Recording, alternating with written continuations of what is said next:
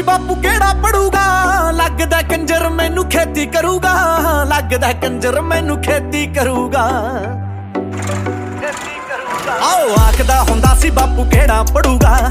ਲੱਗਦਾ ਕੰਜਰ ਮੈਨੂੰ